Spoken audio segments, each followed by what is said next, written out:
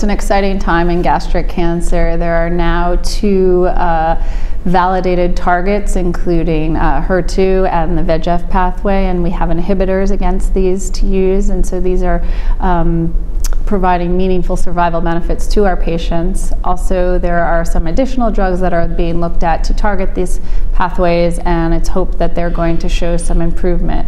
Um, I also went over some exciting data looking at immunotherapy. Um, there's an explosion of studies looking at um, immune checkpoint inhibition in gastric cancer, and uh, the early data show a lot of promise, and so we'll wait to see what the um, larger uh, phase three studies are going to show.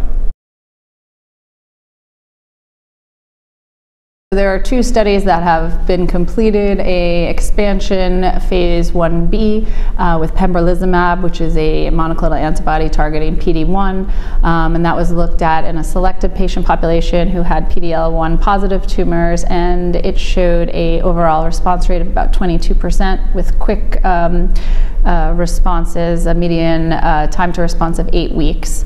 Um, and then there is a more recently a PD-L1 um, phase 1b study looking at um, avelumab, which um, was tested in 20 second line patients and 55 patients um, who had progressed on, excuse me, who had um, responded to first line treatment and were put on the uh, PD-L1 inhibitor as maintenance. And uh, this showed some very positive um, responses as well. So early studies, um, and now we're going to see if those will be uh, confirmed in bigger, bigger studies.